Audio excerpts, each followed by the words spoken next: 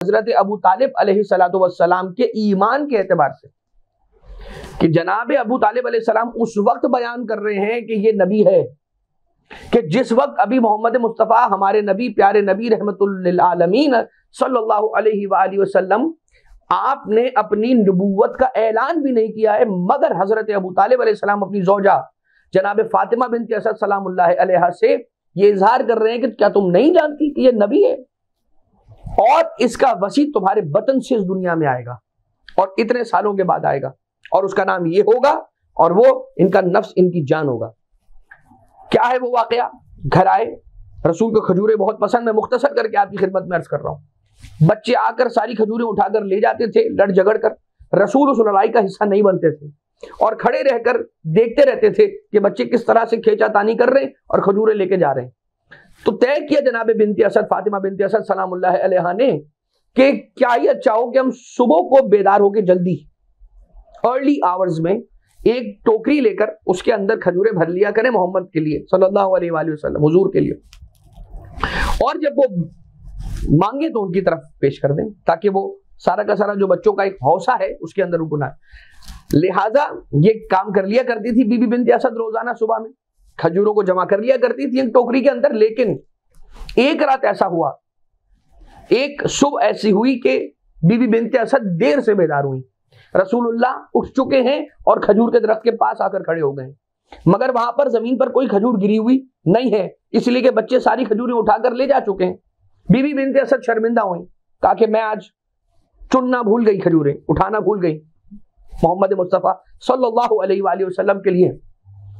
तो देखती हैं और क्या देखा कि रिसालत माम ने खजूर से, के दरख्त से मुखातिब होकर ये इरशाद फरमाया अयुहश अयतुहश अजरतो अना जाए उन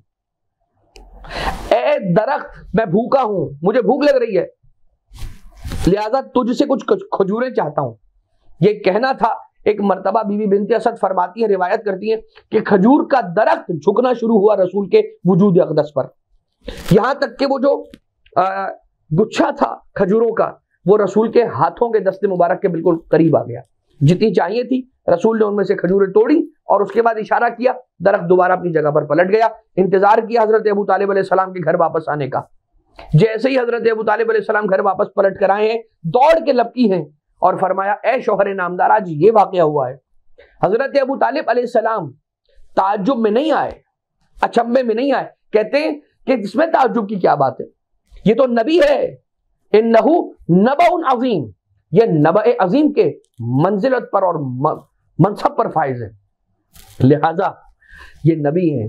तो कौन है अबू तालिब सलाम? जो रसूल अकरम की हज़रत मोहम्मद मुस्तफ़ा सल्लल्लाहु अलैहि वसल्लम की नबूवत के ऐलान से भी पहले आपकी नबूवत की गवाही दे रहे हैं।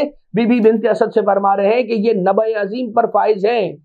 ये नबील्ला हैं, ये रसूलुल्लाह हैं और इनका वसी और जानशीन, ए बीबी बिनते असद, आपके बतन मुबारक से इस दुनिया में आएगा।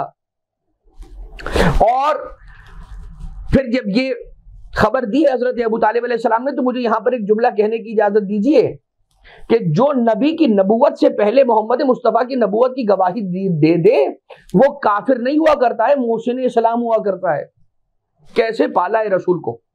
कैसे पाला है रसूल को? कैसे हिफाजत की है हज़रत अबू तालिब सलाम ने रसूलुल्लाह की? दुश्मनों से बचाया। लोग आए थे और कुफार ने आकर हज़रत अबू तालिब से कहा था कि तुम्हें जो चाहिए ले लो। लेकिन मोहम्मद को हमारे हवाले कर दो। हमारे जितने बेटे चाहिए, हमारे जितने मर्द चाहिए, वो तुम्हारे हवाले, हमारे बेटे तुम्हारे हवाले। बस एक मोहम्मद हमें दे दो। हज़रत अबू तालिब सलाम ने वो तारीखी जुमला कहा था, इरशाद फरमाया था कि तुम अपनी औलादे मुझे दो ताकि मैं उनकी हिफाजत करूँ, उनका ख्याल रखूँ, उनका दाने पानी का इंतज़ाम करूँ और तुम मेरे मोहम्मद को ले जाओ अपने साथ ताकि उसे कत्ल कर सको, ईजा पहुँचा सको, अजियत दे सको। मैं मोहम्मद को तुम्हारे हवाले नहीं करूँगा। कौन है हज़रत अबू तालिब के? जिन्होंने अमानतों को संभाला। सिर्फ़ और सिर्फ़ अमानत मोहम्मद अरबी, अमानत मोहम्मद मुस्तफ़ा सल्लल्लाहु अलैहि वसल्लम ही की बात नहीं है। बल्कि हज़रत नबी अकरम के निकाह के सीगे पढ़ाने वाले हज़रत अबू तालिब हैं।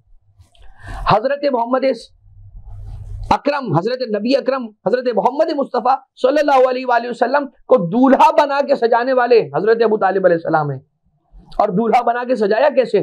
नबी अल्लाह हज़रत इब्राहिम सलाम का अमामा पहनाया, हज़रत मूसा सलाम की अबा पहनाई, हज़रत मूसा सलाम का असा हाथों में दिया उंगली के अंदर हज़रत सुलेमान की अंगुश्तरी पहनाई, तने मुबारक पर हज़रत यूसुफ सलाम का कुर्ता पहनाया।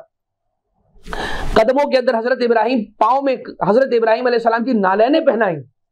ये सारी की सारी अमानतें ठीक इनके पास? हज़रत अबू तालिब के पास। कि इन अमानतों को रसूल के हवाले किया है हज़रत अबू तालिब सलाम ने।